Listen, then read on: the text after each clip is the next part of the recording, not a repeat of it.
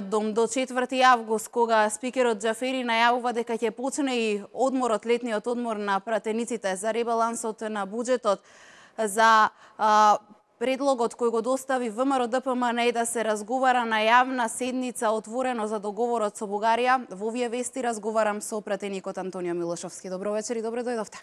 Добро вечер, благодарам многу. Ајде да почнеме со она што го барате втор ден поред. Барате отворена и јавна седница, барате во договорот со Бугарија да бидат вметнати оние забелешки кои вие му ги кажавте на затворената седница на премиерот Зоран Заев, бидејќи сметате доколку се подпише во ваква форма како што е сега договорот, дека тој ќе биде штетен за Македонија, а корисен за Бугарија. Имате ли некаков одговор од Джафери, кои се вашите очекувања, дали Димитров и Заев ќе се осмелат јавно на седница да проговорат што ќе подпишат? Најпрво тоа што би го кажала дека на затворената седница што имавме со премиерот Заев, тој кажа пред сите пратеници и новинари на отворениот дел дека договорот се уште не е затворен. Дека за него се уште може да се преговара и дека текстот на договорот за добрососедство Македонија-Бугарија се уште може да се подобрува и дека тој очекува од пратениците да дадат забелешки. Ние видовме пет суштински слабости и дадовме пет препораки за подобрување на текстот за да не биде на штета на Македонија. За следниот ден, изјавата на господинот Заев да биде демантирана од Министерката за надворешни работи на соседна Бугарија, која што кажа, нема веќе преговори за текстот, тој е финализиран и може само да се подпише. Значи, или Министерката за надворешни работи лаже на Бугарија, дека текстот е завршен чин, или премиерот Заев лаже кога вика дека текстот се уште е во нацрт фаза и може да се подобрува. Затоа ние бараме јавна седница, бидејќи јавноста треба да знае што ќе се подпише во име на граѓаните. И второ, оние што помалку се упатени во меѓународната политика треба да знаат дека според Уставот и меѓународните правила, еднаш подпишан договор не може да претрпи никакви измени после подпишувањето. Затоа ние сметаме дека пред да се подпише договорот помеѓу Македонија и Бугарија, треба во собранието да се разговара на отворена седница за да видат граѓаните за што ќе разговараме и што се нафатил да подпише господинот Заев и додека не е подпишан договорот да се обидеме нешто да подобриме. Без разлика дали станува збор за споменувањето на македонскиот народ, кој што ниеднаш не е спомнат во договорот, без разлика дали станува збор за фразата заедничка историја, без да биде спомнат дел на посебни истории на бугарскиот и македонскиот народ, без разлика дали станува збор за предвидената комисија за образование и историја која што ќе има улога да ревидира учебници во Република Македонија. И без разлика дали станува збор за асиметријата во односите каде што Бугарија добиве права и повластици со, со договорот, а Република Македонија само обврски. Затоа сметаме, ако СДСМ сметаше дека ние сме режим, а тие се демократи, нека покажат сега премиерот Заев и министерот Димитров дека се демократи, нека дојдат на отворена седница во собранието и ако договорот е толку добар, нека го покажат на јавноста. Зошто некој го крие договорот што треба да се подпише со официјална Софија, ако кажува дека договорот е добар? Тие што сметаат дека договорот е добар, излегуваат на телевизија, излегуваат во парламент, но ние ги гледаме во Софија, и тие триумфално најавуваат дека ќе го подпишат тој договор. И секој политичар што би имал таков договор, кога би бил на местото на премиерот Бојко Борисов, би го подпишал со задоволство бидејќи ваквиот текст на договорот е победа за Република Бугарија подпишувањето од страна на господинот Заев ќе биде пораз за Република Македонија. Но доколку има две-три интервенции што би го подобриле текстот, можат двете држави, двете нации и двата народи со дигната глава и достоинствено да подпишат еден текст за добрососедство и да имаме долгорочно разбирање, поддршка и пријателство. Откако ќе се подпише договорот, може ли да го раскинеме доколку тоа го побара? Може ли да се раскине доколку тоа го побара една од државите? Само владите можат да подпишуваат или да раскинуваат договори, во договорот е предвидена таква клаузула. Но јас ќе ви кажам дека многу полесно е да се фатите на орото, отколку да се пуштите од него. Откако ќе се подпише еден договор, многу полесно е да влезете во подпишување и да превземете одредени обврски, многу потешко, не викам дека е невозможно, е да се одстапи од тие превземени обврски. И затоа ние сметаме дека помалку е важен тајмингот што сака господинот Заев да го оствари за да постигне некој кредит пред меѓународната заедница, а повеќе е важен квалитетот на текстот, бидејќи со подпишувањето на ваков договор со многу слабости за Република Македонија, ние не постигнуваме напредок во евроинтеграциите, ние само покажуваме дека Република Македонија ја витка кичмата на своја штета. А со подпишувањето на договорот помеѓу Скопје и Софија, ние нема да ги отвориме преговорите за членство во Европската Унија. Дали очекувате дека до 4 август ќе се одржи ваква седница каква што бара ВМРО ДПМН? Доколку премиерот Заев е убеден дека договорот е добар, доколку СДСМ држи до принципите дека се демократска партија и дека сакаат јавни дебати, каде што би била вклучена и опозицијата и граѓаните, и доколку тоа што го збореа 10 години наназад е принцип во кој што веруваат, тие нема да се плашат и јас очекувам да дојдат на отворена седница во собрание и да дискутираат за договорот. Доколку не дојдат и избегнат отворена седница, тоа значи дека не верувале во демократијата што ја промовирале, не се така отворени за дебати како што го залажувале народот и дека кријат нешто штетно во самиот текст на договорот.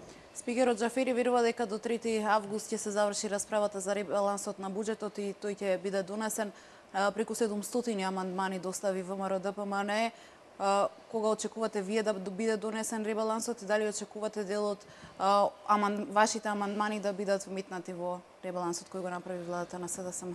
ВМРО ДПМН знае дека буџетите се важна работа за државата и немаме намера да попречуваме, блокираме ниеден ребаланс или донесување на буџет, како што некои партии правеа во минатото. Ние во дадениот рок ќе поднесеме амандмани, ќе дискутираме и до крајниот рок ќе биде донесен овој ребаланс на буџетот. Имаме многу амандмани, од кои што јас би издвоил неколку. Првите амандмани, еден дел на амандмани се амандмани кои што СДСМ ги доставувала во изминатите 3-4 години. Зошто ние повторно ги доставуваме овие амандмани? Како што денес имавме два амандмани за основните и средните училишта во Кичево, кои што СДСМ ги достави пред 2-3 години. Овие амандмани ги доставуваме за да видиме дали СДСМ ќе гласа за тие амандмани и ако гласа за, тога значи дека ќе решиме одреден проблем и тоа значи дека СДСМ и пред 2-3 години кога нудела такви амандмани, нудела реални решенија. Ако СДСМ гласа против собствените амандмани кои што ги предлагала пред година, две или три, ќе покаже дека тогаш кога ги предлагала, не ги предлагала за да понуди решенија, туку за да понуди популизам, гола критика и проекти кои што самата не е способна да ги оствари. Вториот дел на амандмани се дел од нашата изборна програма. Тоа што сме го ветиле, сметаме дека имаме мандат на граѓаните да им оствариме одредени проекти и очекуваме парламентарното мнозинство да покаже доблест и да прифати дел од тие амандмани за во интерес на општото добро на граѓаните. И третиот дел на амандмани се дел од проектите кои СДСМ ги ветуваше во оваа предизборна програма, а сега молчи за нив. Ние предлагаме да се укине радиодифузната такса – Тоа го тврдеше СДСМ до пред 4 месеци. Радмила Шетеринска излезе на говорница на собрание во март и кажа, ако денес имавме влада на Република Македонија предводена од СДСМ, граѓаните утре немаше да платиат радиодифузна такса, но гледаме дека се уште се плаќа.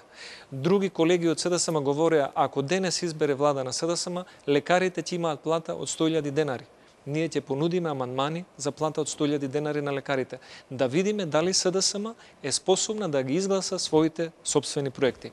Но за жал, она што можем да го видам во самиот буџет е големо кратење на капиталните инвестиции, намалување на проекцијата на раст на БДП, премиерот Заев пред собранието вети дека тие имаат план да постигнат раст од 6 до 7% пораст на бруто домашниот производ. Министерот за финансии денес вика дека проекцијата до крај на година ќе биде пораст од 2,2%. Се прашуваме кое ветување е вистинското. Дали тоа на Заев за економски раст од 6,7% или оваа проекција на министерот Тевдовски од 2,2%. И она што особено не загрижува во буџетот е тоа што има многу големо кратење на средствата во образованието во основно, средно образование, високо образование, по сите ставки има енормно намалување на буџетот. И на вистина не изненадува што еден професор како Тевдовски, сега министер за финансии, и што една професорка како господја Тедесковска, сега министерка за образование, немаат барем еден пофер однос кон својата фела. СДСМ нас 4-5 години не критикуваше дека премалку правиме за образование. А во првата прилика, кога имаа можност нешто да направат за образованието, тие на сите универзитети освен на Тетовскиот универзитет, им кратат по 5, 11, 25 или 40% од буџетот во споредбено со предходната година. И сметаме дека ваквиот концепт е многу штетен за образованието во нашата држава. Едно од вашите тврдења, пратениците од ВМРО ДПМ некога коментираа за овој ребаланс, беше дека целта на ребалансот е за да се остварат партиски вработувања, оние што ги ветија СДСМ за време на предизборието. Партиските вработувања веќе ги имаме. Ние, за жал, секој ден, наместо да добиваме нови закони, предлог проекти во собранието, ние добиваме информации за нови вработувања дека е вработена ќерката на Тито Петковски, дека е вработен Петри Царачини, кој што глумеше шарена револуција, а сега е министерски советник, дека е вработена поранешната новинарка од Телма како портпаролка Е господјата Шетеринска, дека е вработен синот на Самка Ибримовски, дека е вработен господинот Зоран Верушевски, дека се вработени уште 40-50 партиски луѓе од СДСМ кои што глумеле независни критичари на предходниот во наводници режим, а сега земаат плата од 37 или 39 денари. Што значи тоа? Тоа значи оптоварување на буџетот. Наместо тие средства, кои што во годината може би би чинеле 250 или 300 евра, за овие 40 вработувања, наместо тие средства да се дадат за 2, 3 или 4 основни училишта да им се решат долговите со парно, со струја и со превоз, тие ќе се дадат за партиски вработувања. Каде е укинувањето на радиодифузната такса? Каде е покачувањето на пензиите? Каде се покачувањата на социјалните приматели на помош? Нема ништо од тие ветувања. Министерот Тевдовски тврди дека со ребалансот се скратени непродуктивните трошења. Со ребалансот се скратени капиталните инвестиции. Тоа се најпродуктивните трошења. А ние имаме ветување од СДСМ дадено од господјата Шетеринска во 2016 година дека доколку СДСМ формира влада, дека таа нема да има повеќе од 20 министри. Ќе биде мала, ефикасна, економична влада. Денес имаме влада од 28 министри и имаме 7 министри без ресор. Овие 7 министри без ресор, со сите своји вработени, кабинети, шофери, телефони, репрезентација и се друго на располагање, годишно за буџетот се товар од близу 600.000 евра овие 600.000 евра за 7 министри без ресор можеле многу попаметно да бидат искористени. И она што денеска остави нај би рекол збунувачки впечаток на самата комисија за финансирање и буџет беше говорот на пратеникот од СДСМ, господинот Атанасов, кој што ја води нивната комисија за образование и политика во СДСМ, кој што рече доколку мене ме консултирал министерот за финансии Тевдовски, и јас не би му се согласил да скрати ни еден денар од проектите за образование, бидејќи најголемите кратења се развојни проекти во образованието. А, и уште една актуелна тема, специјалното јавно обвинителство. Секојдневно гледаме функционери од ВМРО ДПМН како а, се посудувите, си како поради оние обвиненија поднесени од страна на специјалните јавни обвинители, одземени пасоши се закануваат и со а, притвори ќе го издржи ли ВМРО ДПМН е ова, денеска и порака од лидерот на вашата партија Никола Груевски дека нема никаде да бега. Постојано тврдите дека ова е политички прогон. Јас едно ќе кажам. Специјалното јавно обвинителство било и повеќе нема да биде. ВМРО ДПМН е било и секогаш ќе биде. Овој политички прогон еден ден ќе запре. Овој политички прогон еден ден ќе се расчисти ние гледаме дека обвинети и виновни во државата се сите високи истакнати функционери на ВМРО ДПМН. Тоа на се може да личи, но не личи на правна држава, туку личи на партиско-политички прогон. И ние сме партија која што тоа може да го издржи. Ќе се носиме со тој товар. Зошто го прави тоа СЈО? Затоа што немаме зголемени пензии. Треба некој да дигне чадна завеса, за да се сврти фокусот на јавноста на друга страна. Зошто СЈО секој ден повикува луѓе или одзема пасоши? За да не знаеме што ќе се подпише помеѓу Македонија и Бугарија. Зошто СЈО обвинува високи челници на ВМРО ДПМН? За да немаме одговор зашто нема плата од 100.000 денари за лекарите. Значи, СЈО служи како алатка за притисок врз ВМРО ДПМН, за увлекување на вниманието и за тоа што треба да го одработи заев за оние кои што го донесува на власт. И втората задача на СЈО е да стави знак равенство помеѓу сите политичари, Ние имаме еден политичар кој што видовме дека во својот кабинет барал подкуп. И за тоа има предмет кој што се води во обвинителството и пред судовите. И сега СЈО сака да направи некое порамнување со сите овие политички обвиненија. И на крајот сите да испаднат виновни, само Заев да биде невин во оваа држава, иако сите видовме на кој начин работел. А, како очекувате да завршат а, овие постапки кои ги покрена специјалното јавно обвинителство и колку очекувате да се а, влечат функционери од ВМРО ДПМН по судовите уште колку дури? Нека трае колку што треба да трае. Ние имаме една работа која што нам ни е расчистена. ВМРО ДПМН и функционерите кои што работеле во име на граѓаните со легитимен демократски мандат работеле според законите. Ни една конструкција или политичка монтажа не може да биде доказ. И затоа сметам дека еден ден, за брзо време, ова ќе се расчисти, а за локалните избори народот ќе ја даде конечната пресуда за тоа кому повеќе верува дали на тие што работат или на тие што обвинуваат. Ние ќе продолжиме со работа. Сосема за крај подготвено ли е ВМРО да помане за локални избори? Подготвени сме секогаш и за локалните избори исто така. Веќе правиме внатре-партиска регрутација и одредени планови за програмите за секоја општина. Мислам дека ќе излеземе со многу добра политичка понуда.